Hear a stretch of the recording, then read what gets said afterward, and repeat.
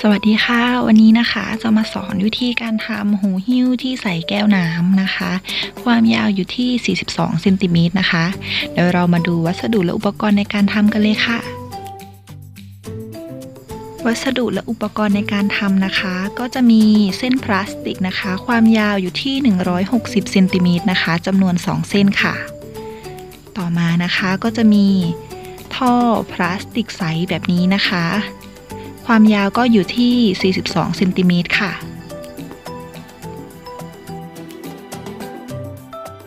แล้วก็จะมีกระดาษกาวนะคะ แล้วก็กันไกรค่ะ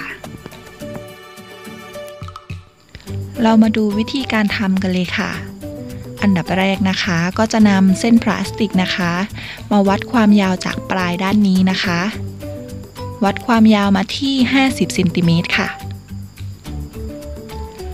แล้วก็นำกระดาษกาวนะคะ มาแปะไว้ค่ะ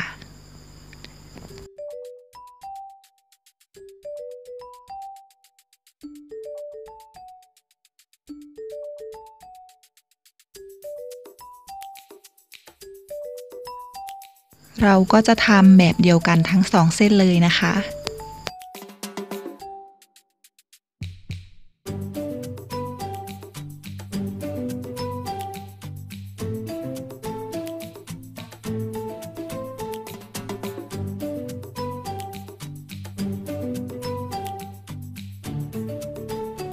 ส่วนปลายอีกด้านหนึ่งนะคะ เราก็จะทำการตัดแบ่งครึ่งค่ะ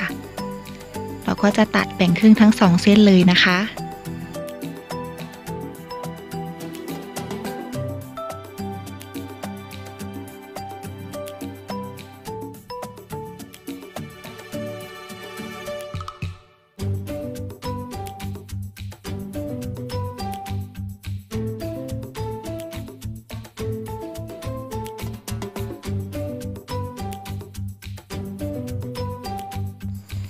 เสร็จแล้วเราก็จะมาทำการสารกันนะคะ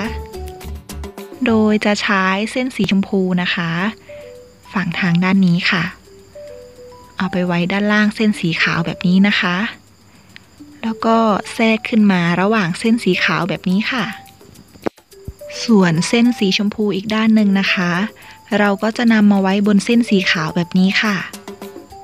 แล้วก็แทรกลงไประหว่างเส้นสีขาวแบบนี้นะคะ ให้ได้ในลักษณะแบบนี้ค่ะ ต่อมานะคะ เราก็จะดันเส้นสีชมพูเส้นนี้ค่ะ ลงไปด้านล่างแบบนี้นะคะแล้วก็แทรกขึ้นมาระหว่างเส้นสีขาวแบบนี้ค่ะ แล้วก็ม้วนกลับไปด้านเดิมค่ะ ดึงให้กระชับนะคะ ต่อมาเส้นสีขาวค่ะ แล้วก็จะดันลงไปด้านล่างแบบนี้นะคะ แล้วก็แทรกขึ้นมาระหว่างเส้นสีชมพูแบบนี้ค่ะ แล้วก็ม้วนกลับไปด้านเดิมค่ะ อย่าลืมดึงให้กระชับด้วยนะคะ ต่อมาเราก็ทำเหมือนเดิมนะคะ ดันเส้นสีชมพูนะคะ ลงไปด้านล่างค่ะ แล้วก็แทรกขึ้นมาระหว่างเส้นสีขาวแบบนี้นะคะ ม้วนกลับไปด้านเดิม แล้วก็ดึงให้กระชับค่ะ ตามด้วยเส้นสีขาวนะคะ ม้วนลงไปด้านล่าง แล้วก็แทรกขึ้นมาระหว่างเส้นสีชมพูค่ะ แล้วก็ม้วนกลับมาด้านเดิมค่ะ ดึงให้กระชับนะคะ เราก็จะทำในลักษณะแบบนี้นะคะ สลับกันไปเรื่อยๆค่ะ จนกว่าเราจะได้ความยาวที่เราต้องการนะคะ ก็คือ 42เซนติเมตรค่ะ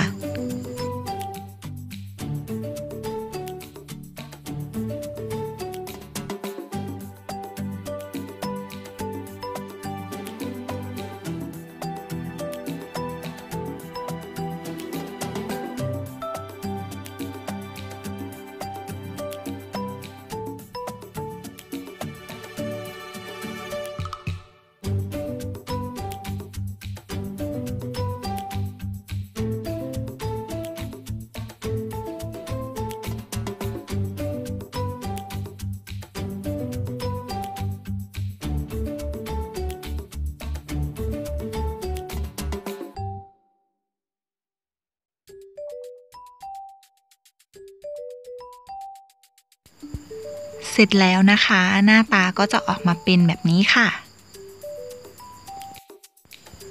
ต่อมานะคะก็ให้แกะกระดาษกาวที่เราแปะไว้ก่อนหน้านี้ออกนะคะ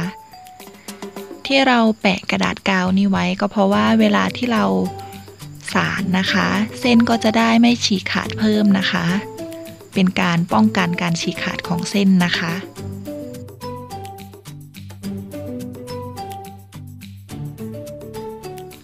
หลังจากนั้นก็ใช้กันไกลนะคะ ตัดแบ่งครึ่งเส้นพลาสติกทางด้านนี้กันค่ะ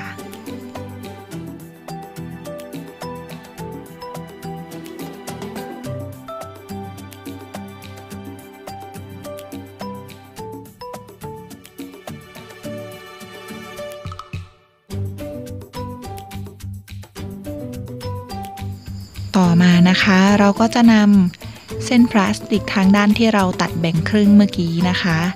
สอดเข้าไปในท่อพลาสติกใสกันค่ะ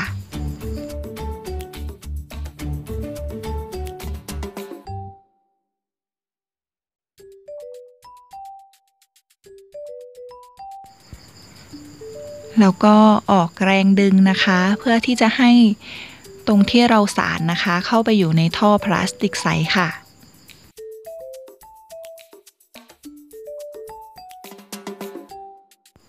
เข้ามาอยู่ในท่อพลาสติกใสเสร็จเรียบร้อยแล้วนะคะ ต่อมาเราก็จะนำสายนะคะ ไปใส่กับตัวที่ใส่แก้วกันนะคะ จุดที่เราจะใส่นะคะก็คือบริเวณกึ่งกลางนะคะ ก็คือเส้นที่ 3 ตรงนี้นะคะ สอดเข้าไปเลยค่ะ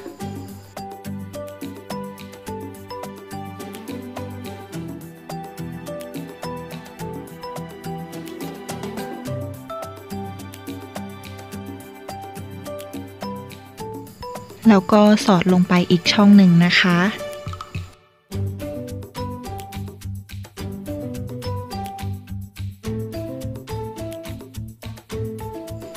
แบ่งเส้นพลาสติกเป็นสองฝั่งฝั่งละสองเส้นแบบนี้นะคะ หลังจากนั้นก็ม้วนเพื่อที่จะยึดระหว่างสายแล้วก็ตัวที่ใส่แก้วนะคะ เข้าด้วยกันแบบนี้นะคะ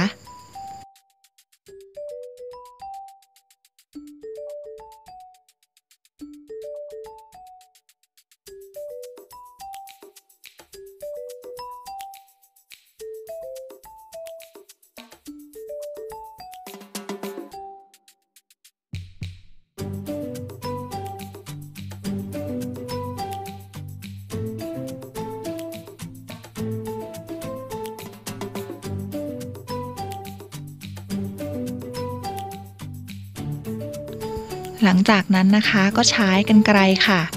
ตัดเส้นที่เหลือออกนะคะ แล้วก็เก็บปลายเส้นที่เหลือให้เรียบร้อยกันค่ะ เราจะทำในลักษณะเดียวกันแบบนี้ทั้งสองฝั่งเลยนะคะ